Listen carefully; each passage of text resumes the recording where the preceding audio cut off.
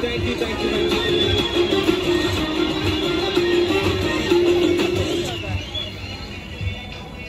ये हमारा आइसक्रीम है दोनों को सर्व करूँगा साथ में